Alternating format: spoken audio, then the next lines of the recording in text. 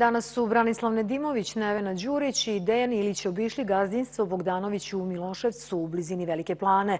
Branislav Nedimović rekao je da je Srbija zemlja hrane i da poslednjih godina beležimo rekorde. Izvoz hrane za prethodnu godinu iznosio neverovatnih 5 milijardi dolara. Srbija je zemlja hrane. Srbija beleži u poslednjih godine rekordne izvoze hrane, preko 5 milijardi dolara. Ništa ne bi moglo da nismo ulagali u prethodnim godinama u elektrifikaciju polja, stotine hektara, hiljade hektara sistema za navodnjavanje. Ne bi ništa moglo da nismo davali subvencije za više hiljada traktora u Srbiji. To su dela. To su dela koje govore o nama. Ali da bi radili u budućnosti, da bi se spremili za nove izazove, moramo da slušamo ljudi.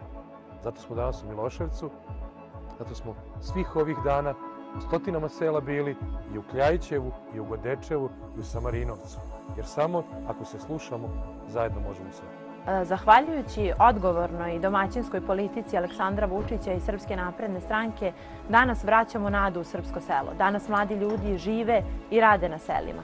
Jačamo i osnažujemo život na selu kroz različite vrste podrška, kroz postice mladim poljoprivrednicima za novoosnovana poljoprivredna gazdinstva, kroz subvencije za kupovinu kuća na selu i ne samo u poljoprivredi. Napredujemo u svim sferama i društvenog i političkog života. Nekad smo sanjali o jakoj Srbiji koja ima rezultate, a danas živimo u Srbiji koja niže samo uspehi. I zato nam je potrebna podrška građana Republike Srbije da bismo zajedničkim snagama nastavili dalji napredak, boljitak i prosperitet.